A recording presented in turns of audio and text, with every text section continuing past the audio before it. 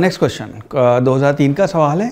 It says a body of mass m is placed on earth surface which is taken from earth surface to height of h is equal to three R then change in gravitation potential energy वो क्या होएगी? हमारे option है M G R by four two by three M G R three by four M G R या M G R by two simple सवाल है। Direct uh, हम इसमें फॉर्मूला यूज़ करेंगे। सो so, ये आपका प्लानट अर्थ है और इसका रेडियस आर एक बॉडी को हमने यहाँ एच सरफेस से लिया और एच हाइट तक ऊपर ले गए। एच की वैल्यू अपने को थ्री आर दी हुई है।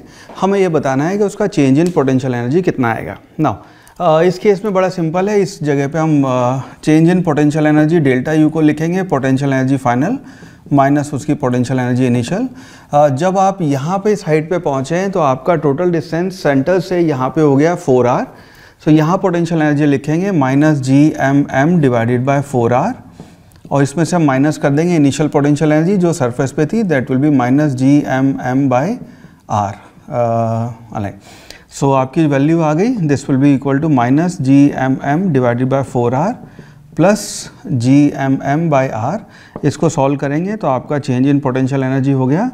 This will be three by four G M M by R now ये वैल्यू हमें दी हुई है, ये हमारी वैल्यू है G M M by R के टर्म में। हमें जो चार ऑप्शन दिए हुए हैं, वो छोटे जी के टर्म में दिए हुए हैं। छोटे जी के टर्म में वो करने का बड़ा सिंपल तरीका है, इसको आर से मल्टीप्लाई करें आर से डिवाइड करें।